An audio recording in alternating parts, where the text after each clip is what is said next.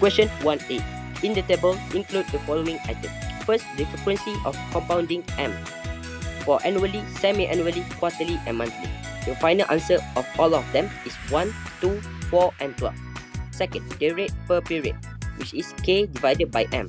From the question, you know that K is 7% or 0.07. So, 0.07 divided with annually, semi-annually, quarterly, and monthly. And then you will get final answer for the rate of period. Third, the numbers of coefficient period, N, or the power of M multiplied by T. So, from the question, you know that T is 8 years. So, 8 multiplied with annually, semi-annually, quarterly, and monthly.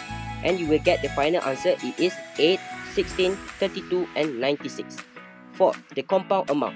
The formula for the compound amount is S equals to P bracket 1 plus K divided by M bracket the power of M multiplied by T. From the question, you know that P is 25,000. So the final answer for annually is 42,954 and 65 cents. For semi-annually, it is 43,349 and 65 cents. For quarterly, it is 43,555 and 34 cents. And last, monthly, it is 43,695 and 66 cents. Last, the compound interest.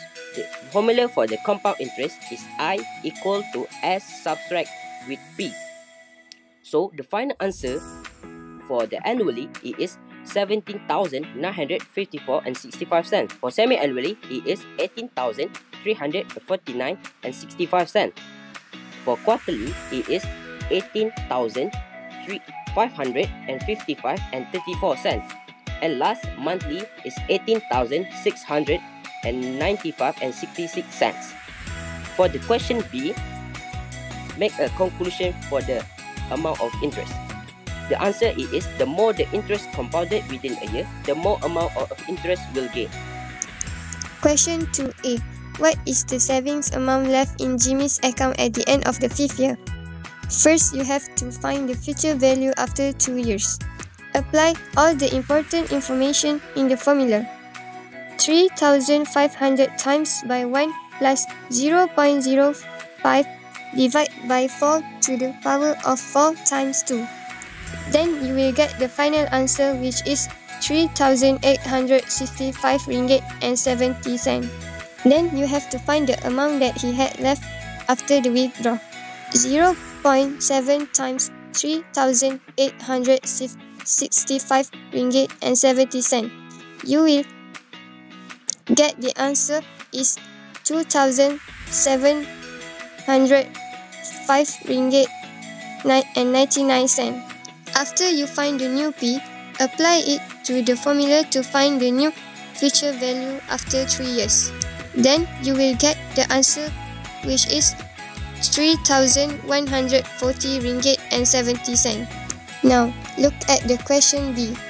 First, 3140 ringgit and 99 cent plus with 5000 to get the new amount that he deposited at the end of the fifth year. Secondly, apply it to the formula to find the total amount after 4 years. And the final answer is 9,931 ringgit and 11 cents.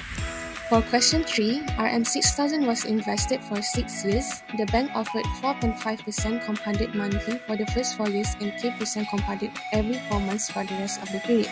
If the total amount in the account at the end of the 6th year was RM 7,929 and 57 cents, find the nominal interest rate, K percent compounded every 4 months. First, you need to state all the information that important, then substitute all the known values inside the formula Use the root to solve the question to get the best answer. Solve it until you get the final answer which it would be k equals to 5%. Based on the answer in 3a, after t years, the investment was worth Rm 13,019 and 89 cent.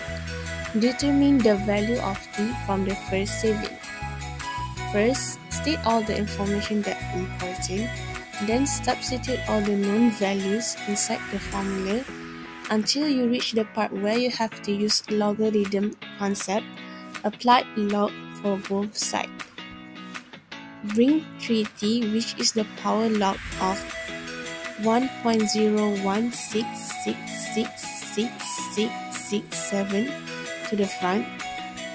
Divide log 1.641949192 with log 1.01666667 until you got the final answer which it would be 30. Round out the number so you would get t equals to 10 years.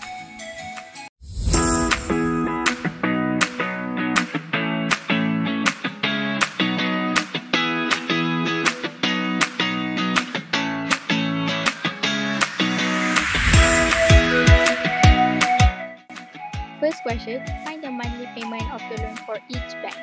This question is about annuity because it mentioned about regular payment. So we have to use the annuity formula. There's two formula in this chapter which have been stated before. We have to use the first formula because the question doesn't mention anything about future value. You have to state all the information that have been given. And then you can substitute all the information inside the formula. After that, you can solve the question until you get the final answer. The final answer for bank ABM is 1,366 ringgit and 88 cents. And repeat the same step until you get the final answer for bank ECM. The final answer will be 1,127 ringgit and 76 cents. Second question, find the amount of interest charged by each bank. Because we used the present value formula in the first question, so there's only one formula to find the amount of interest for each of bank, which is I equals to R in bracket MT minus E. First, you have to state all the information, after that substitute all the information inside the formula. Solve it carefully until you get the final answer. The final answer for bank ABM is 14,817 ringgit and 92 cents. Repeat the same step for bank ECM you get the final answer, which is 21,798 ringgit and 8 cents. Third question. Take the advantages or disadvantages for, of choosing bank ABM. For this question, we choose the advantages for choosing bank ABM, which is shorter long term and lower interest rate. Fourth question, take the advantages or disadvantages for choosing bank ECM. And for this question, we choose we choose these advantages for choosing bank ECM, which is longer long term and higher interest rate. As usual, you have to state all the information first. Based on the information, you have to use the future value information because they have been given amount of the future value, which is 50,000. After you state all the information, substitute the information inside the formula. Solve it carefully. But until we have reached at this point, we cannot solve the question regularly. Instead, we have to use the logarithm. As usual, we have to state all the information first.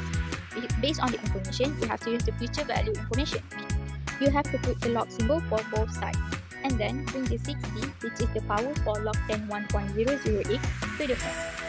After that, divide log 10 1.4 with log 10 1.008 until you get the answer. C will be 7.037840279. Round up the number until you get 7.04. The final answer will be T approximate 7 years.